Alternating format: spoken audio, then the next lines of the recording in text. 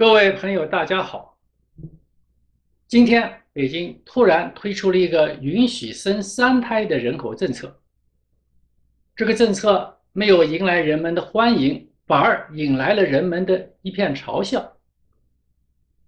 由此可见呢，现在习近平这一届政府的执政能力相当的差，中央政治局很庄严的开会制定出来一个政策，却成为人们的笑料。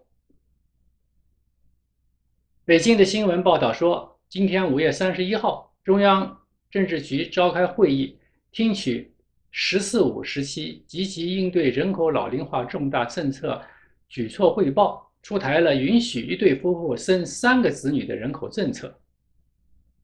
这个政策一出来，立即就冲上了这个微博的热搜，引发了全民热议。大部分的网民都持反对和嘲笑的态度。那么人们为什么会嘲笑这个三孩政策呢？首先呢，是北京现在它还要管人民的生育问题，就是呢，现在北京推出来这个政策呢，还是说允许不允许你生的问题。过去北京推出一个强行只准生一个孩子的政策，就遭到了西方强烈的人权批评。如果这一次北京干脆趁这个机会，取消这个强制性的人口政策，对一个家庭生多少个孩子就不限制了，这无疑是一个最好的、最受欢迎的选择，也会缓解西方对北京侵犯人权的批评。可是这一次，习近平却说呢，为了应对人口老龄化，允许一对夫妇生育三个孩子。也就是说，现在中国老百姓生三个孩子还是要得到政府的允许。也就是说，政府还要继续过去对人民实施的这个强制性的人口政策。这个不仅是引来了老百姓的不满和吐槽，而且这种允许生三个孩子呢，已经变成一个毫无意义的事情。如果现在的北京政府有一点智慧呢，应该把允许生三个孩子改为鼓励生三个孩子，这样让人听起来就顺耳很多，也没有那种允许不允许的强制性。更重要的是呢，这样的说法也符合现实的情况。目前北京这个允许生三个孩子就完全不符合现实嘛，因为现实的情况不是说人们生想生三胎，政府不让他生。而是人们连两胎都不想生了，那允许生三胎的政策根本就没什么意义嘛。所以说，允许生三个孩子这个政策完全成了一个笑话。你要改成就是鼓励生三个孩子的政策呢，这样的政策就不会闹笑话了。当然，也并不是说你鼓励生三个孩子，人们就会生三个孩子。这种政府对人口搞计划呢，其实本身就是很可笑的。在一九七八年时候，当时北京就推出了一个只准生一个孩子的政策。当然的时候是遭到了人们很大的反对，也确实是一个很严重的侵犯人权的问题。有人说呢，过去北京搞这个只生一个孩子的人口政策是一个历史性的错误。不过呢，我们讨论一个政策的对错，不能用这个事后诸葛亮这个观点来讨论，还要看当时的情况。那么我们看，在当时就是在上世纪七十年代的后期，当时执政的邓小平为什么要推出这个只准生一个孩子的人口政策呢？这其实和当时的时代背景是有很大关系的。我们看一个近年来的反思性的文章，有一个奥地利的纪录片的导演叫做维尔纳布特，就拍了一个人口问题的纪录片，他就介绍说呢。人口过多这个想法是从上世纪七十年代开始，在我们头脑中开始深根蒂固的对世界的看法。那么，在上世纪七十年代的时候，当时整个世界的知识界啊，都充斥着叫做人口爆炸的观点。他们认为啊，未来的地球人口就要翻两番、翻三番、翻四番，那五十年之后，地球上就会挤满了人。这种人口过多的人口危机，最早是在1798年，当时候英国的经济学家马尔萨斯就发表了著名的人口论，他认为啊，粮食的增长注定赶不上人口的增长，所以将来世界必定认为人口过多而崩溃。在第二次世界大战之后，全世界的确是出现了一个好像人口暴增的浪潮。在一九四九年的时候，中国的人口是四亿五千万，到了一九七九年，中国的人口翻了一番，达到了十亿。所以当时候世界的情况啊，确实好像要人口爆炸这么一个样子。在一九六八年的时候呢，美国学者叫做埃利希就出了一本叫做《人口爆炸》的书，这个书是引起了轰动。他就认为啊，人口爆炸性的增长将会使地球叫做人满为患、资源枯竭，世界末日就会到来。所以在那个时候呢，整个的西方学术界都在呼吁发展中国家，特别像中国、印度这样的人口大国，要实施计划生育，要控制人口的过快增长。在一九七四年呢，联合国就推出了一个防止人口过多的议程，就是旨在呢，就是责成当时人口增长率很高的国家，像中国啊、墨西哥啊、印度，要采取一些降低人口增长的措施。所以呢，在当时这个邓小平政府在一九七八年推出那个只生一个孩子的人口政策，虽然是人权方面看确实是一个很大的问题，但是在当时那么一个人口爆炸论盛行的年代，这样的极端的人口政策也是受到了西方人口学家的欢迎，甚至一些国家还称赞说北京这样的做法是缓解了全世界人口爆炸的危机。所以呢，在那个时候，那时候人口学家都是渲染地球人口会怎么怎么多，他们喜欢用这个印度挤满了人的火车来形容将来世界的人口爆炸的景象，就是这么一个挤满火车的样子。但是呢，现在人们才意识到，这个人口爆炸理论完全就是错误的。按照人口爆炸理论，那么二十世纪末地球的人口将达到一百亿，但事实上呢，现在全世界只有七十八亿人嘛。所以呢，过去人们预测呢，地球人口会一直往上冲。我们看这个图中的红线，就是以前人们预测的地球人口的发展趋势。但是实际的情况啊，现在地球人口反而是出现一个下降的趋势，就是这个图的一个绿线的情况。所以说，当初人们确实是完全预测错了。那么当年北京在这样的一个错误的思潮的。在情况下，他们极端一个就制定一个极端的只生一个孩子的人口政策，应该说这有特殊历特定的历史环境。那么，假如说当时中国不搞计划生育，又会怎么样呢？有人就预测呢，如果当时中国不搞计划生育，现在中国人口可能达到三十亿。那么现在中国大约是十四亿人了，可以说终于实现了一个温饱。如果现在中国有三十亿人口的话，那估计温饱都很困难。因为中国的人口增加一倍，那么工作机会并不会增加一倍嘛。现在中国作为全世界的世界工厂，把全世界所有的工作机会基本上都抢过来了，已经造成了全世界很大的不满。如果中国人口再增加一倍的话，全世界的工作机会不会有那么多，不会有那么多机会让中国人干。所以呢，如果中国的人口太多，那是一个更大的灾难。当然了，人口减少也不是一个好事，最好呢就是维持人口的数量不变。但是这个人口这样的事情啊，不是说政府可以控制得了的。你想维持多少就维持多少，这个人口呃人口完全是很难控制的事情。大约在十年前，人们就发现这个所谓人口爆炸理论完全就是错误的。未来的世界人口问题并不是什么人口爆炸，而是人口减少、人口坍塌。现在全世界除了非洲、亚洲这些穆斯林国家之外，其他国家的人口都出现了下降的趋势。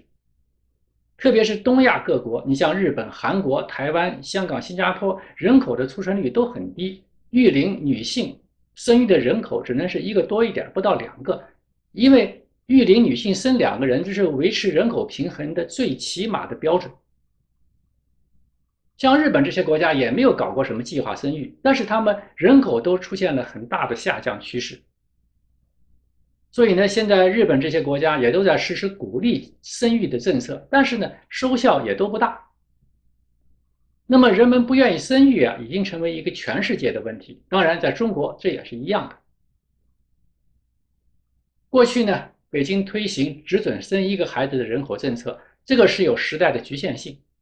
现在呢，人们已经发现这个人口爆炸理论根本就是错误的，就应该及时的来改正。所以早就有人提议说呢，北京应该推出一个鼓励生育的政策。首先呢，应该放开就是生孩子的限制，就是想生几个就生几个。其次呢，就是应该放弃那种是允许你生几个孩子的一种强制性的说法，改成鼓励多生孩子这种鼓励性的说法。现在呢，北京不仅是推出这个放开生育的政策，时间点太晚了一点，而且还没有全放开，还要留一个尾巴，说是只准生三个。这就让人感到政府决策层的思想过于陈旧过时，做法也非常的愚蠢。那么现在中国年轻人又出现了一种叫做“躺平”的思潮。不久前有网友发了一个帖子，叫做“躺平即是正义”，在中国引起了强大的反响。不过，躺平这样的文化还不是中国首创的，因为在日本呢已经流行了多年了。日本在二十年前就开始所谓的低欲望社会，就是年轻人欲望很低，他们也没有理想，没有欲望，叫得过且过。中国目前的躺平文化倒也不是和日本学的，只是现在中国的社会和目日本呢有越来越多的相似之处，所以呢就会出现同样的社会现象。如果说中国的躺平文化是怎么产生的呢？我们看一下先驱者日本这个躺平文化的由来，就很有启发。有人说呢，日本出现躺平文化是因为日本社会的阶层固化，年轻人没有上升的空间。当然了，这是其中一个原因了，但并不是最主要的原因。最主要的原因啊，其实是日本的年轻人他们放弃买房了。那为什么这么说呢？因为对于绝大部分人来说，他们努力工作的动机也不是成为像马云那样的亿万富翁了，他只是为了生活更好一点。那么人民的生活水平呢，主要是衣食住行这四个方面。过去呢，衣服是很贵的，买一件衣服你要攒好几个月的钱，所以过去人们努力工作目标就是买一件衣服。但现在衣服都成了白菜价，除了名牌之外，一般的衣服都不贵。买衣服已经不能成为人们努力工作的目标了。过去呢，食物是很短缺的，特别是吃肉，那是一个很奢侈的事情。所以过去人们努力工作就是为了能够多吃几顿肉。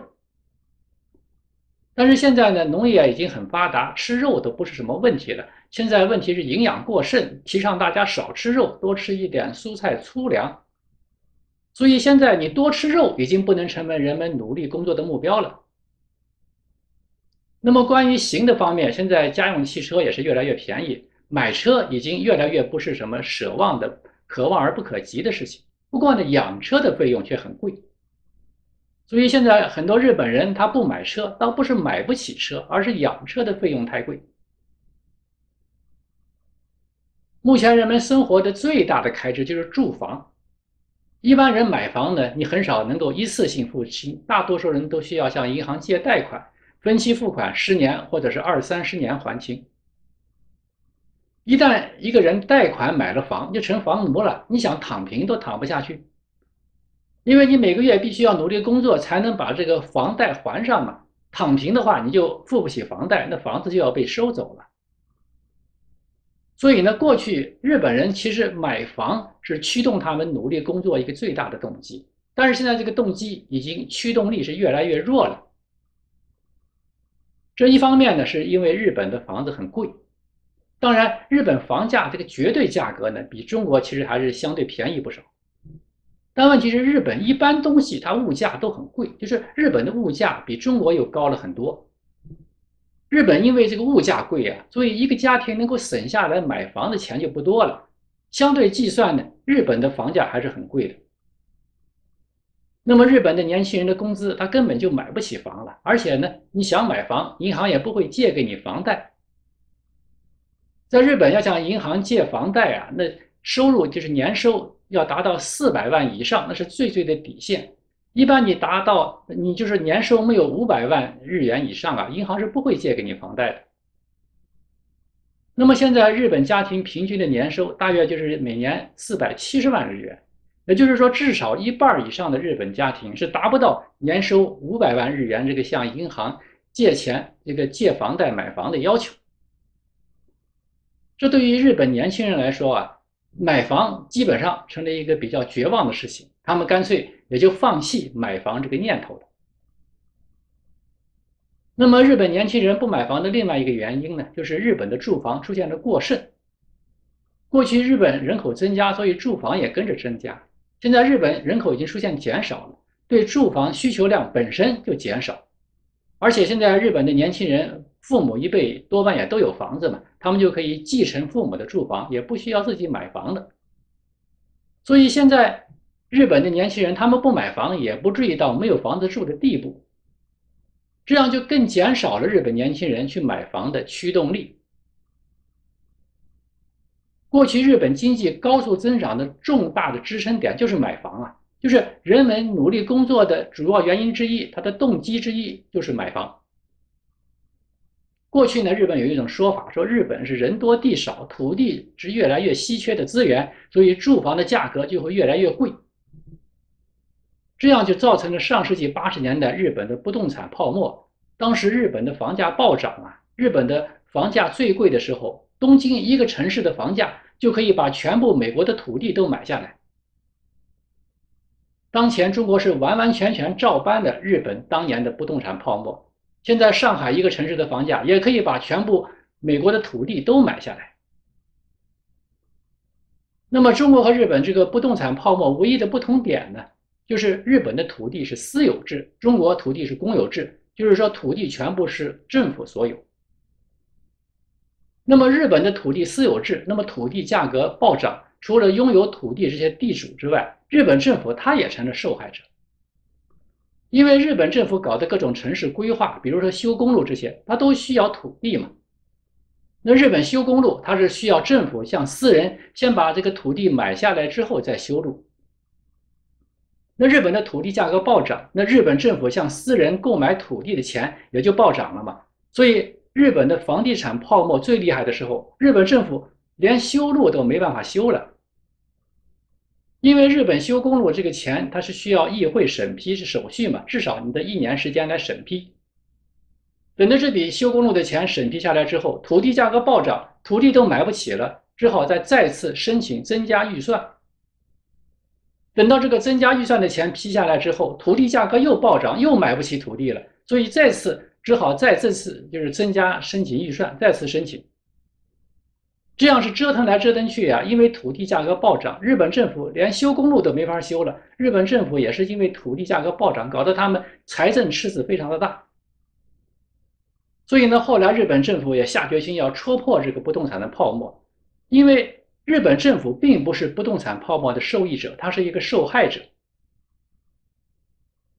但是中国的情况完全不一样，因为中国的土地都是政府所有啊，土地价格越暴涨，利润都跑到政府去了，政府就越有钱。所以现在中国政府是不动产泡沫的受益者，他们当然就不愿意戳破这个泡沫。但是现在中国的房价暴涨，中国的年轻人也面临根本就买不起房的困境。所以呢，这些年轻人干脆也放弃了买房的梦想，就不买房了。这样一来，他们努力工作的驱动力也就没有了，干脆躺平算了。